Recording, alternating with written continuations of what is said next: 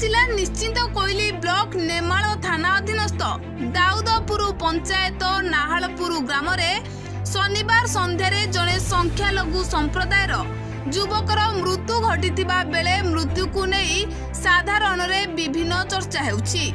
ସନ୍ଧ୍ୟାରେ ଉକ୍ତ ଯୁବକ ବୋମା ଭିଡୁଥିବା ବେଳେ ବିସ୍ଫୋରଣ ଦ୍ୱାରା ମୃତ୍ୟୁ ହୋଇଥିବା କିଛି ଲୋକ କହୁଥିବା ବେଳେ ପରିବାର ଲୋକେ ଘଟଣାକୁ ଲୁଚାଉଥିବା ପୋଲିସ ଅନୁମାନ କରୁଛି।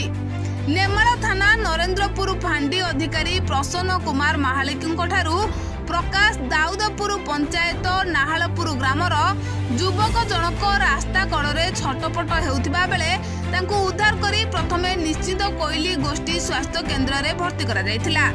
ସେଠାରେ ତାଙ୍କର ଅବସ୍ଥା ଗୁରୁତର ଥିବାରୁ କଟକ ନେବା ବାଟରେ ତାଙ୍କର ମୃତ୍ୟୁ ହୋଇଛି। ଏହି ଘଟଣାରେ ଅନ୍ୟ ଜଣେ ଆହତ ହୋଇଥିବା କୁହାଯାଉଛି। ଶବ ବ୍ୟବଚ୍ଛେଦ ପରେ ସତ୍ୟସତ୍ୟ ଜଣାପଡ଼ିବ ବୋଲି ପୋଲିସ ପ୍ରକାଶ କରିଛି। ମୃତ୍ୟୁକୁ ନେଇ ସନ୍ଦେହ ସୃଷ୍ଟି ହୋଇଥିବା ବେଳେ ଉକ୍ତ ଅଞ୍ଚଳରେ ଭୟର ବାତାବରଣ ସୃଷ୍ଟି ହୋଇଛି। କଟକରୁ ଝୁନାରାଣୀ ପୁହାଣଙ୍କ ସହ ପତିତ ପାବନ ରାଉତଙ୍କ ରିପୋର୍ଟ ଓଡ଼ିଶା ହାଲଚାଲ।